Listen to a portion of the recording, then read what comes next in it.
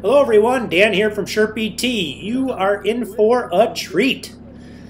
Uh, hooked up with an old buddy, Terry Pease, and uh, went out to his farm. And Terry used to have a motocross track. I think it's been shut down three, four years or so forth, but uh, there's some bumps that we're going to be seeing um, that we kind of went over. Nothing really too radical, but you'll get a little bit of an idea as we're driving through here.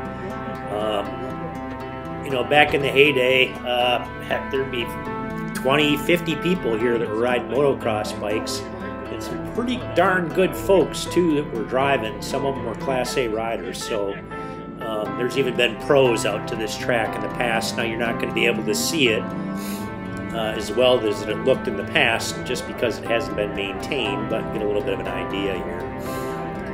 So his wife Lori, she's got plenty of horses that run around here too. So on the right hand side there, that's a horse pasture, and right through here is where the horses go if they wanted to go in the back. Uh, this was a fairly large tabletop jump. This isn't where the motocross was actually going, um, but you know what? I was driving and I wanted to give those guys a little bit of a, a feel for what the Sherp could do, so I kind of went in the path not traveled. So we are actually on the track right now, uh, about to go off it here in just a second.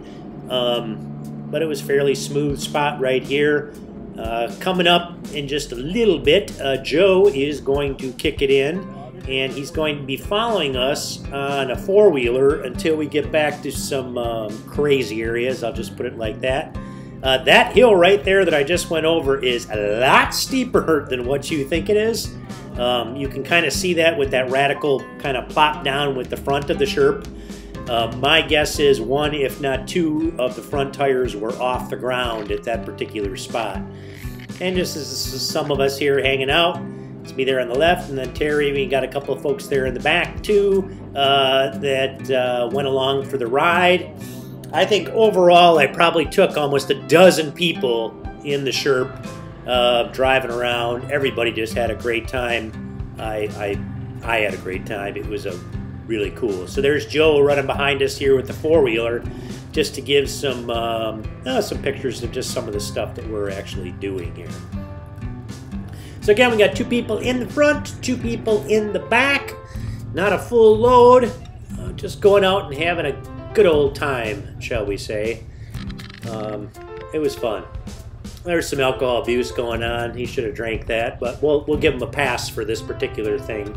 Um, not hold it against him.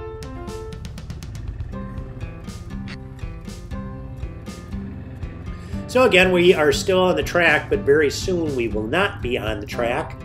And we're going to kind of the back. I believe he's got like 40, maybe 60 acres.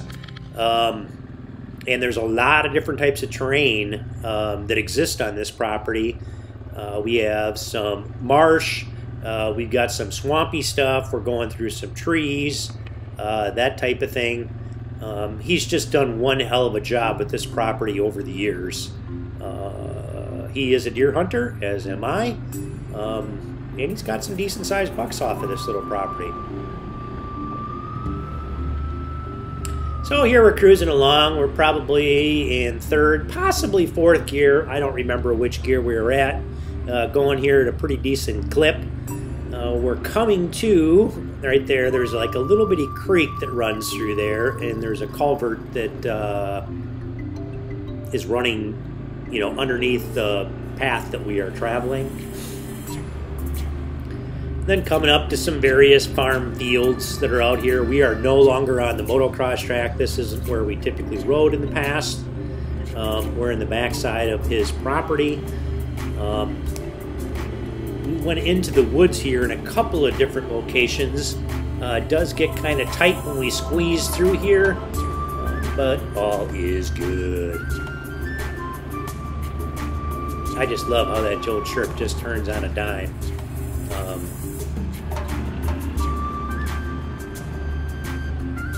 just a good old time. so here we're going back, and we're going to be turning very soon to go into the woods.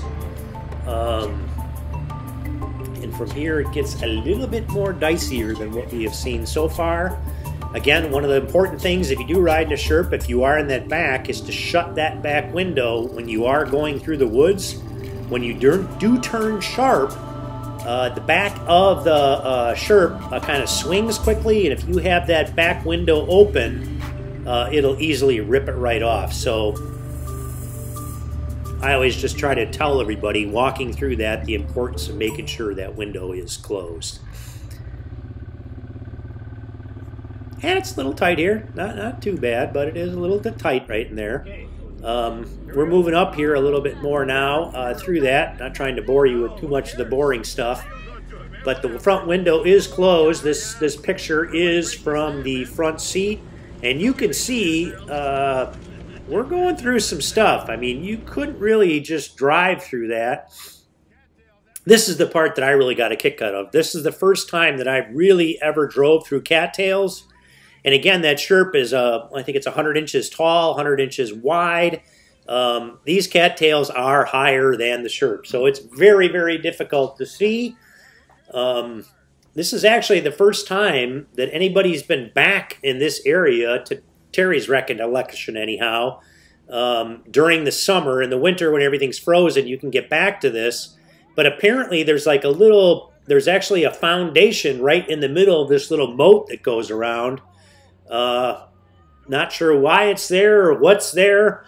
Uh, we didn't go exploring all that, but you can see there on the left there was all that black mud that was coming off of those Sherp tires. Uh, that is not very deep, uh, that moat, uh, so it would kick into that bottom uh, and kind of stir things up there a little bit. And I'll tell you what, it stunk to high heaven. But what what kind of vehicles could do this? I, I know of absolutely nothing. Absolutely nothing. So we'll leave it at there, and uh, I think I'm just going to sign off here a little bit and let you listen to what's going on. And we do have some different passengers right now. That's Lori on the left. I believe that's her daughter. Sorry if I got that mixed up. Um, yeah. There was a lot of different people there, and I didn't know everybody extremely well. So again, pretty radical spot there. Here I just took a regular camera and just placed it and we're driving through another swampy spot. This is really, really shallow. I don't think it's even a foot deep. Um, but holy moly did it stink. So we were turning that uh, muck crap up. Uh, it, it, it definitely did smell.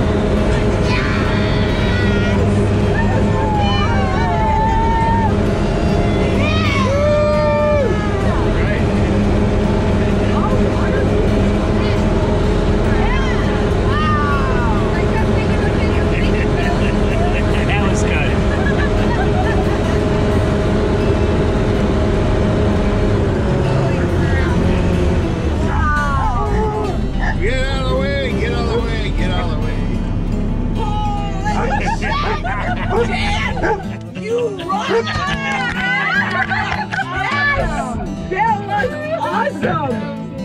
Oh my god! The wet.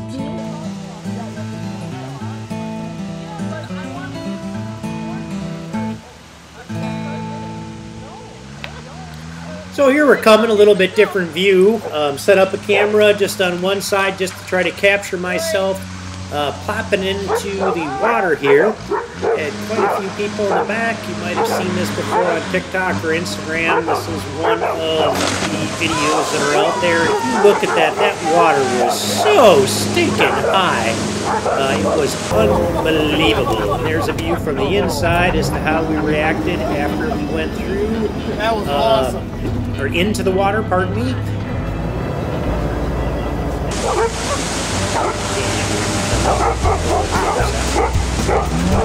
He's just, this pond is just so cool. Uh, the water is absolutely crystal clear. Uh, you can see there from the left there the swimming platform. Uh, just a great place to hang out during the summer. Again, just an absolutely wonderful job of building this uh, nice little pond back here.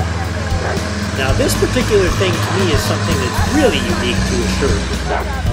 Not going straight in here, as you're going to see. I'm going to the side, but just look at the angle that we have here and the way that sherp enters the water. There is nothing that can do that. Uh, unbelievable. Just from going through and jumping through the front of this water, uh, doing things like that. Uh, the following day, uh, I went and I there's little bung plugs that are on the bottom of the sherp. I opened those up. I probably had, I'd say maybe three quarters of a gallon of water on the inside of the sherp, so there really wasn't that much. The water will enter in right next to the gasket on the window when it opens up. If where the water is coming in, it is not coming through the bottom of the sherp. It's coming from uh, the top of the sherp, which is not meant to be underwater.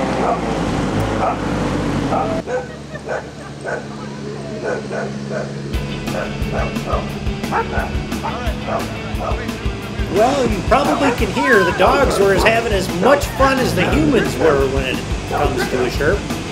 I did have the headlights on. It was becoming the end of the night. You could just see the lights there hitting the opposite side of that pond. Um, we did that because we thought it looked pretty cool, so do.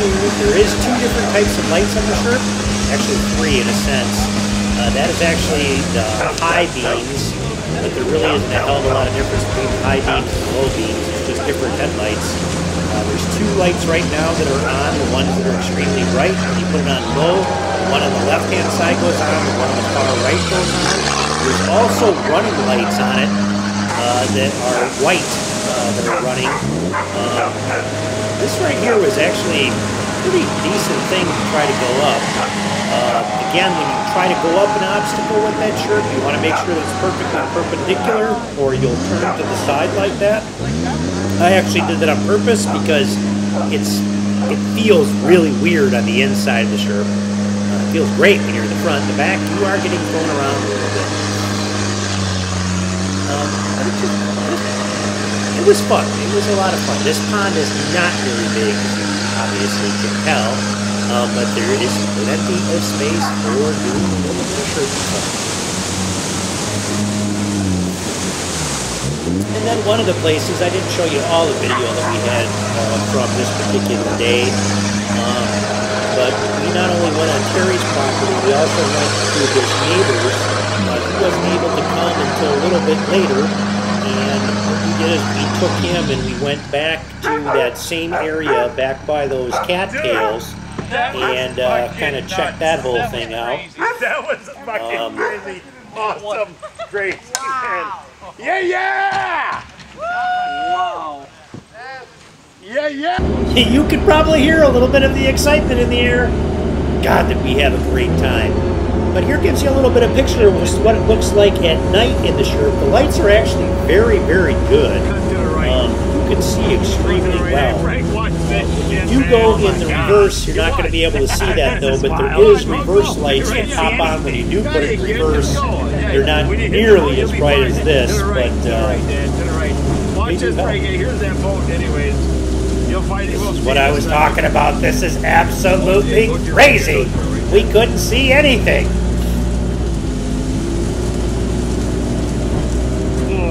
Was it right?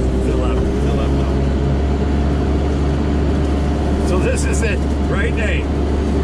Shouldn't be walking through this shit. They put trails in, right? That's right. Hey. Go that way, Betty. Go that way.